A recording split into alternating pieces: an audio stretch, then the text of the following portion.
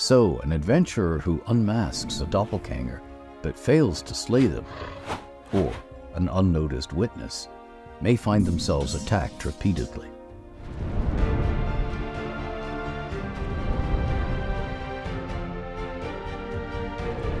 Hail and well met, and welcome back to another Realms Lore video. I am here with the original creator of the Forgotten Realms, Sir Ed Greenwood himself, and today we are taking a look behind false faces. Ed, want to expand a little? Sure. The subtitle of this video is Doppelgangers Everywhere, and by that I really mean everywhere in the realms.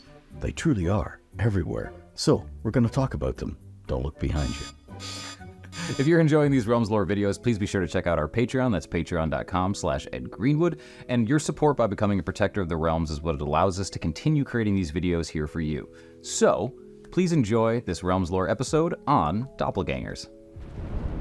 In Waterdeep and its environs, everyone has heard of the unseen.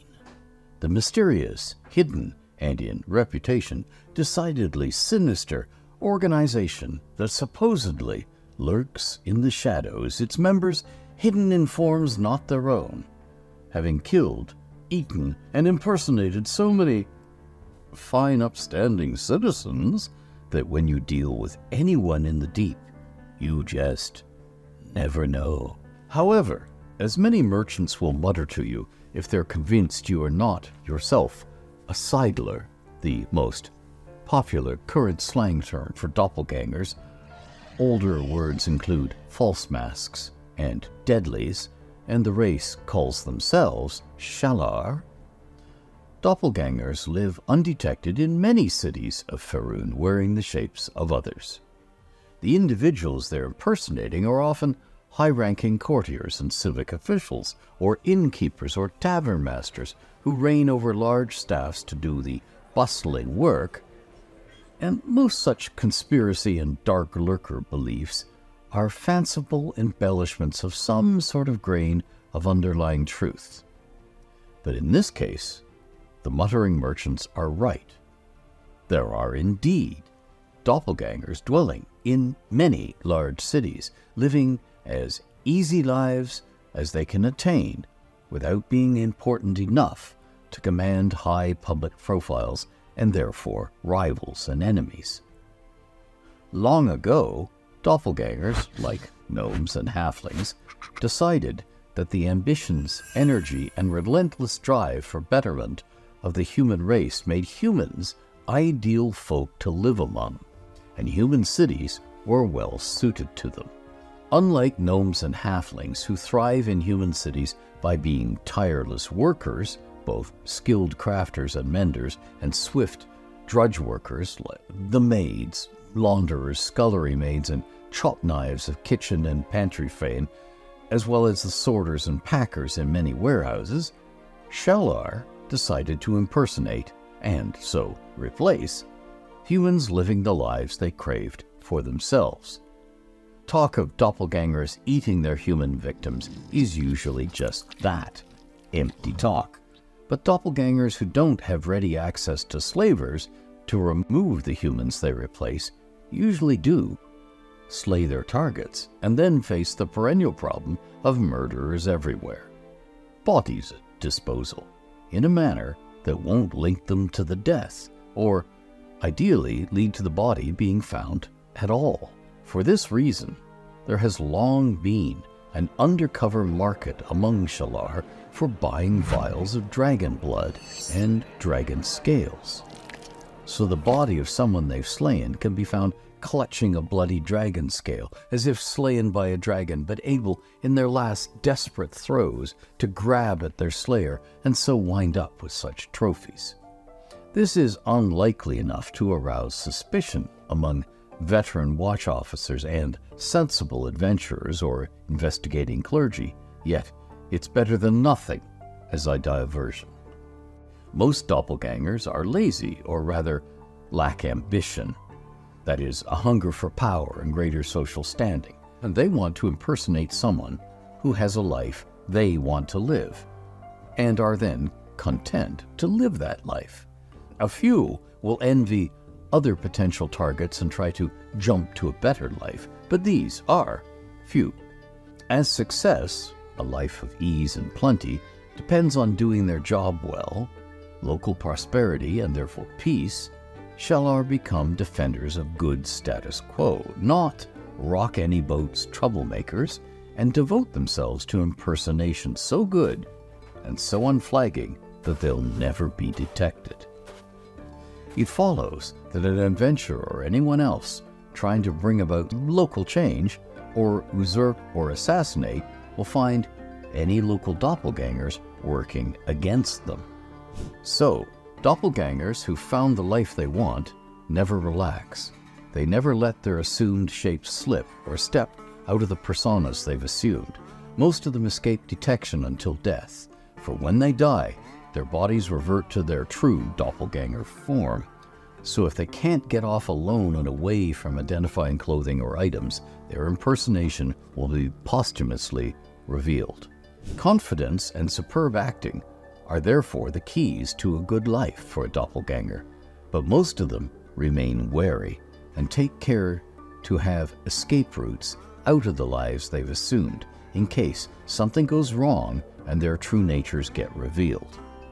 These often take the form of remaining in contact with fellow doppelgangers, and there are doppelgangers who impersonate successful far-faring merchant traders who visit doppelgangers who will do business with them and at the same time keep in touch with casual and cryptic utterances so as to maintain communication networks where doppelgangers warn each other of impending trouble.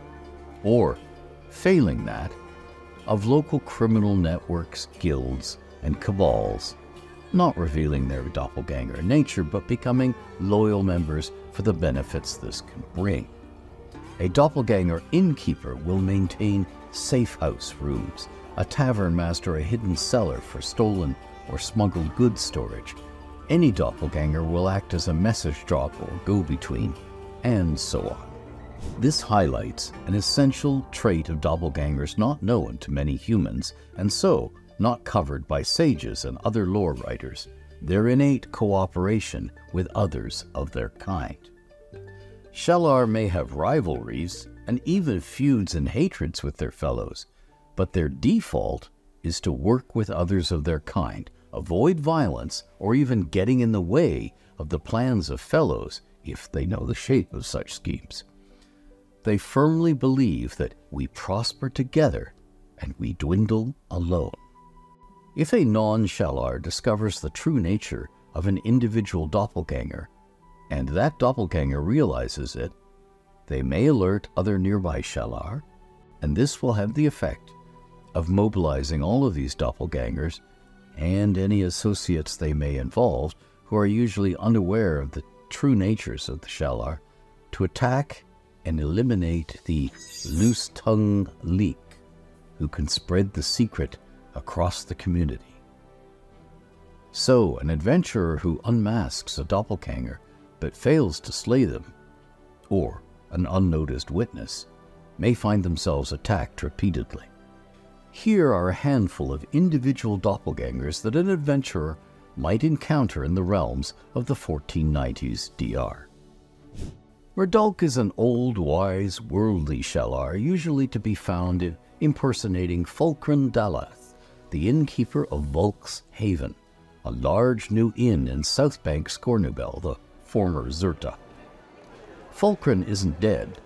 He is now, with the aid of a Murdulk hired mage's polymorph spells, Murdulk's chief trade contact in Waterdeep, a beautiful woman named Ravera Lindath. Fulcran is thrilled with his new life, and Murdulk is pleased at the caravans full of smuggled goods that enter and leave Waterdeep unhampered by taxation and authorities. Murdulk dedicates himself to keep the reach and clout of rulers from Baldur's Gate to Neverwinter as weak as it now is, brigandry low, and entrepreneurs from Secomber to Baragos to Everlund flourishing. He's growing very rich in the process and won't hesitate to spend tens of thousands in gold pieces to hire adventuring bands to take care of nasty little problems for him. Those who entertain ideas of attacking Fulcran Dalath keeper of the haven, rapidly discover that he's protected with magical rings and periapts and more, and can wield mighty battle magics that erupt from unlikely looking items. Verhandro Vaunt is based in Marsember in the guise of Animathea Thea, Sarzek, the helpful lady, but visits Suzail often. The helpful lady provides on the spot wardrobe repairs, meals and drinks, porters to carry heavy purchases or luggage, and guides to wealthy visitors to Marsember and Suzail. Lost and need luxurious rooms for the night? Lost your sword and need a new one? In urgent need of a bath or a hairdo? The lady is your aid. Most of her clients are Sembians and folk of Westgate wanting to be treated as nobles, but genuine Cormyrean and Waterdavian nobles also make use of her services, as she's much cheaper than bringing along dozens of one's own servants. With her on the ground local aid and her highly trained staff of bodyguards, litter carriers, and drop everything to paint your portrait or design your stunning new gown, artists and crafters, she can take care of everything if you're reduced to a lone dresser or scribe, or no one at all. Vaunt is privy to the secrets of many wealthy, high-born, and important people along the Dragon Coast, and occasionally makes subtle use of this in business investments and urban real estate purchases, but has no need of anything energetic or particularly illicit to make great wealth steadily. Vaunt already owns more than half a dozen properties in Suzail and even more in Marsember, and some of them are well-used warehouses. Yansra Yelark is a doppelganger using the name of the human dancer and lady of pleasure who lovingly raised her despite knowing her true nature. Her mother Yansra died in 1466 DR, but the Shallar, who now proudly bears her name, impersonated her for less than a decade before growing tired of dancing on stages and in beds in Baldur's Gate, and retired to the life of a landlord in the Gate and in Athkatla. Her holdings in both cities amount to more than a score of rented out homes and shops, and she dedicates herself to curbing open brigandry and thievery in both cities in favor of protection money and less violent forms of criminal activity such as tax evading smuggling to keep both cities prosperous and visitors to them feeling safer so their trade flows will continue to grow. Yansra loves steering rumors by sponsoring the broadsheet writers she favors, who write upbeat news not just reporting on disasters, and seeking to shape gossip in society in Baldur's Gate and Athkatla. And because she keeps a low profile and doesn't appear to profit from what she's doing, she's regarded as a harmless booster of local life by those in power and a nice person by many citizens. The powerful might be less pleased with her if they knew how tirelessly she works to curb their power and influence, to ward off tyranny, and make the common folk happy and as wealthy as possible. Elminster approves of her work and has thrice magically helped her to keep her true nature secret. Through him, she has begun to work with Laeral, Open Lord of Waterdeep, but is wary of increased contact with rulers and the powerful she mistrusts, the chosen of Mystra. Believing to goddesses we are all pawns, I shall never be a willing or happy pawn. And there you have it, a glimpse of doppelgangers in the realms today. Hi, welcome back to Realm Speak. This time around, we're doing this. A member of the Circle of Eight when he was still alive, Otiluke is dead now. Otiluke was murdered. We remember him from Otiluke's um, Freezing Sphere, Otiluke's Incendiary Cloud, Otiluke's... There are many spells that Otiluke created. He is so synonymous with Greyhawk that his apprentices and disciples are even known as Greyhawk mages. I know, I play one in Lord Gasamba's game. So, Otaluk.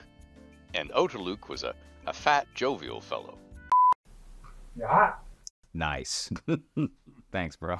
You're pretty good yourself. okay. Hail and well met, and welcome back to.